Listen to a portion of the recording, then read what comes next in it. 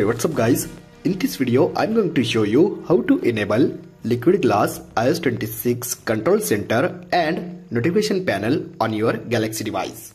So let's begin. Okay, first guys, you have to download this launcher on your Galaxy device. This launcher download link available on description. Okay, first open this launcher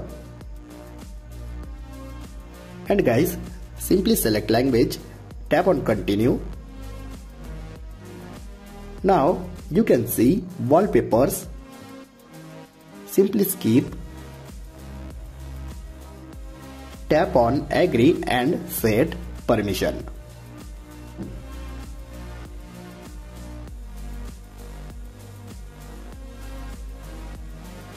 Now you can see guys welcome screen Tap on continue and set permission.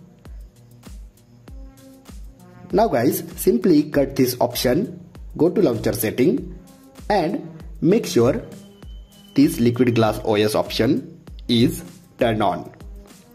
Now simply go back, go to control center and disable control center edge. Simply go back and go to AssistiveTouch disable AssistiveTouch and now guys first set this launcher as default launcher. Simply ignore this message tap on letter and you can see liquid glass control center.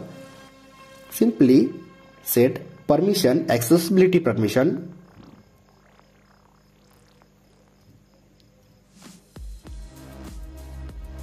Now you can see control center and notification panel on our Galaxy device.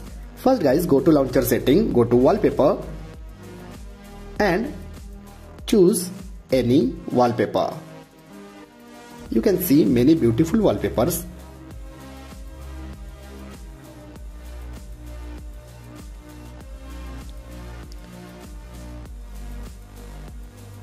Now guys simply tap on add and set as wallpaper pair. Now simply go back. And guys most important thing simply go to lock screen and disable this lock screen. Now simply go back. And guys now simply go to setting go to apps simply choose default apps and go to home app and set one UI home. Now you can see guys, liquid glass, control center and notification panel on your Galaxy device.